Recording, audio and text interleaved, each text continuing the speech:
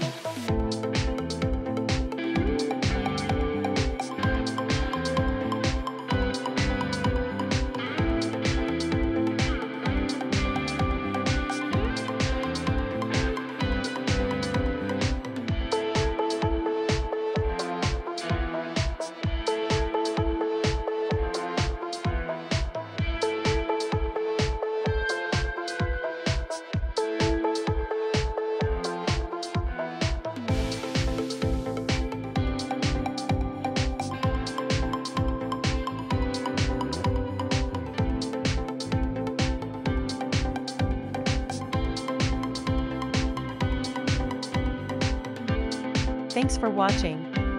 Subscribe.